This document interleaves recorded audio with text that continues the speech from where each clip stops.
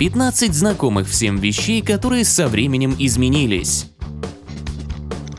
Всего несколько десятилетий назад люди даже представить себе не могли портативный компьютер или телефон с сенсорным экраном. Что говорить, если первый компьютер не поместился бы даже в целой комнате? Телефоны выглядели совершенно иначе, а когда-то и вовсе были предметом роскоши.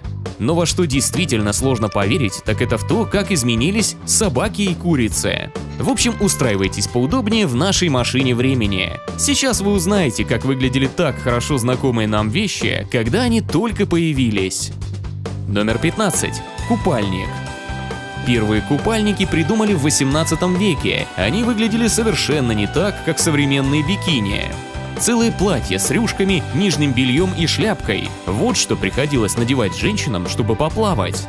Все лишнее исчезло только к началу 20-го столетия. На смену платьям пришли скромные вязаные купальники. А бикини, которые мы знаем и любим, появились лишь в 1946 году. Кстати, у самого слова «бикини» тоже интересная история. В том же 46 году США проводили ядерные испытания на коралловом острове Бикини на юге Тихого океана. Об этих испытаниях говорили повсюду. Именно поэтому французский дизайнер, создавший революционный в мире моды купальник, состоявший из двух предметов, решил назвать свое творение «бикини». Этот новый предмет одежды должен был произвести на мужчин такой же взрывной эффект, как ядерная бомба. Так что, парни, вы согласны? Номер 14. Утюг. Самые первые утюги появились еще в Древней Греции. Тогда, конечно, это были не совсем утюги, а просто горячие куски железа. Китае в первом веке до нашей эры люди пользовались металлическими чанами с горячим углем. Похожие приспособления, вроде железных коробок с углями, позже появились и в других странах. Для лучшей тяги по бокам делали отверстия, иногда утюг даже снабжался трубой. Впрочем, в Индии вместо углей люди жгли кокосовую скорлупу, поскольку она была дешевле, а горела ничуть не хуже. То, что было похоже на наши современные утюги, было изобретено в Европе в 18 веке. Люди также клали внутрь угли и разогревали устройство на печах. Они были сделаны из чугуна и весили больше 5 килограммов. Вот это я понимаю, тренировка для рук. Номер 13. Кино. Благодаря зеленому экрану и компьютерной графике, сегодня фильм можно снять где угодно, хоть в Риме, хоть на Марсе. На планирование крупных блокбастеров уходят годы, а для съемок требуется несколько месяцев и тысячи людей. Так что нам сложно представить ранний кинематограф, потому что первые фильмы были довольно примитивные. Их снимали одним дублем, без монтажа, почти без движения камеры и без особого освещения. Оператор играл роль и режиссера, и редактора, и, если фильм был более продвинутым, даже осветителя. А первое коммерческое кино было представлено 28 декабря 1895 года в Париже. Там показывали 10 короткометражных фильмов братьев Люмьер.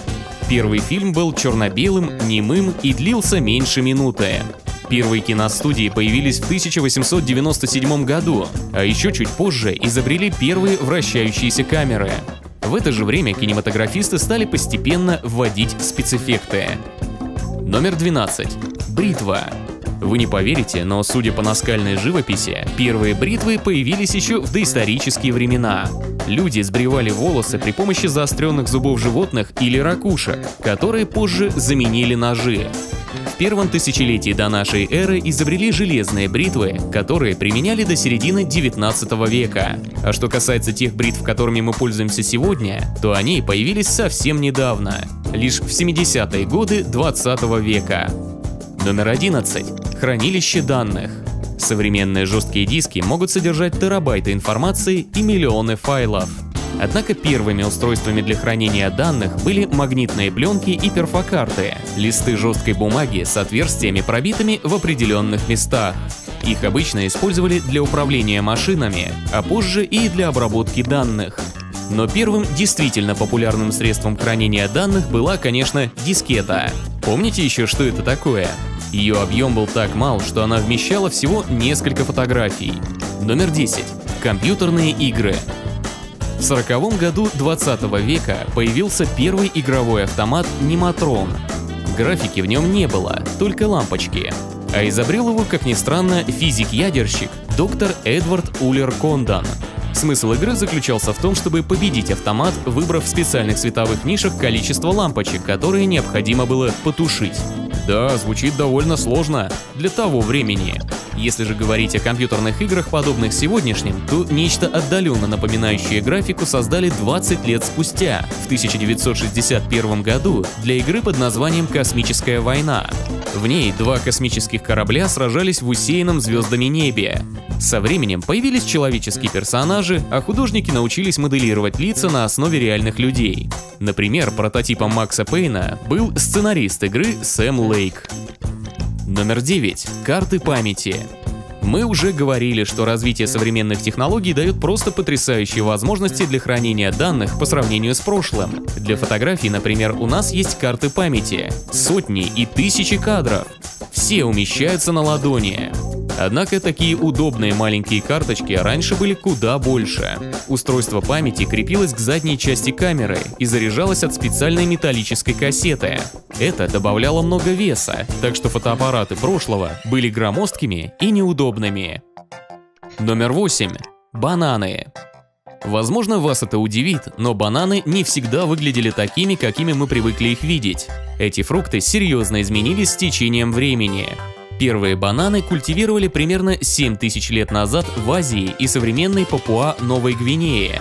Изначально бананы принадлежали к виду бананов заостренных. Это значит, что у них были плоды-коробочки, чем-то напоминающие стручки гороха. Но затем их скрестили с видом дикого банана фруктового, и впоследствии они превратились в те бананы, которые мы знаем и любим. К сожалению, увидеть те первые бананы теперь почти невозможно. Но с другой стороны, современные фрукты куда вкуснее и имеют гораздо больше питательных свойств, чем их предки. Номер 7. Детская коляска. Колясок не существовало до 18 века, когда их изобрели в Британии. И разумеется, выглядели они совсем иначе. Первые коляски были уменьшенными версиями взрослых карет на лошадиной тяге. Дети в таком экипаже могли ехать только сидя. А вот традиция носить ребенка в слинге зародилась очень давно. Древние египетские рисунки изображают детей, которых матери несут в косынках. Примерно в 1306 году итальянский художник Джотто написал фреску, на которой изобразил Деву Марию, несущей Иисуса в ткани, перемотанной вокруг тела. Проверенный временем способ переноски ребенка – это весьма убедительные доказательства. Номер 6. Камуфляж.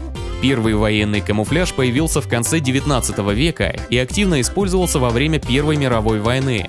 Он помогал спрятать не только людей, но и целые корабли. Современный камуфляж имеет различные окраски и рисунки в зависимости от страны и окружающей местности. Номер 5. Собаки. Столетия селекции собак изменили друзей человека до неузнаваемости. Немецкая овчарка когда-то была на 15 килограммов легче и считалась собакой средних размеров. Мускулистый бультерьер приобрел более плотный живот и другую форму черепа. К сожалению, все эти изменения отразились на здоровье. У немецких овчарок, например, часто развивается дисплазия бедра, а у бультерьеров наблюдаются самые разные трудности – от лишних зубов до неконтролируемой погони за хвостом. Номер 4. Ноутбук.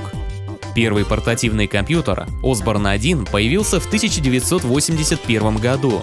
Он весил примерно 12 килограммов и стоил почти 1800 долларов. Сейчас это порядка 5000. У него было всего 64 килобайта оперативной памяти, 3 порта, один для модема и 5-дюймовый черно-белый экран. Номер 3. Сенсорный экран. Сенсорный экран изобрели в Америке в 1972 году. Он представлял собой сетку инфракрасных лучей, состоявшую из блоков 16 на 16. Как бы примитивно это ни звучало, устройство работало можно было выбрать нужный вариант ответа, нажав на сам экран. А всего через несколько лет компания Elo Graphics представила миру телевизор с сенсорным экраном. К сожалению, сенсорные экраны еще долго оставались непопулярными, но заняли свою нишу в медицине и промышленности. Номер 2. Индустрия красоты. Если взглянуть на косметические процедуры прошлого века, можно решить, что их выполняли при помощи орудий для пыток. Но нет, кошмарные шлемы всего лишь измеряли лицо человека, чтобы визажисты знали, какие зоны выделить макияжем, а какие лучше скрыть. Современная косметология сделала гигантский скачок вперед. И как же здорово, что эти жуткие устройства остались в прошлом. Некоторые процедуры сегодня можно проводить даже дома. Номер один. Курицы. За последние пару десятилетий курицы стали крупнее, особенно их грудки и ноги. Говорят, что дело в гормонах и стероидах, которые курицы едят вместе с пищей. Однако фермеры заявляют, что такой рост вызван более качественными условиями содержания, которые положительно повлияли на здоровье этой птицы. Хм, чему же верить? А по-вашему, какие вещи из прошлого изменились больше всего? Расскажите нам в комментариях. И не забудьте подписаться, чтобы всегда быть на яркой стороне.